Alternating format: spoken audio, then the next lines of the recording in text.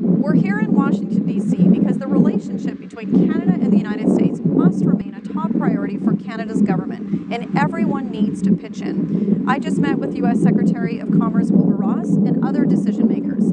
It was an opportunity to meet with those who are playing a leading role in NAFTA talks.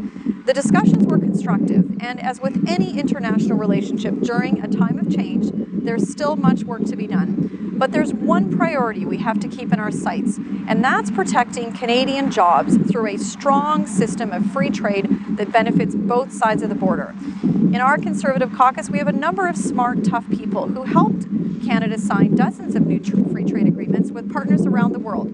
So we're going to be here to make sure that all of us are focused on keeping Canada's economy strong for families and for workers.